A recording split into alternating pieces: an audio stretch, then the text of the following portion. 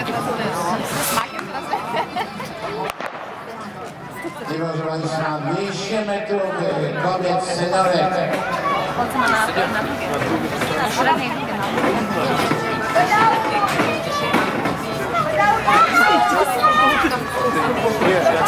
Prowadzi Aleksandra Przybylska, Łukasz Domczyna.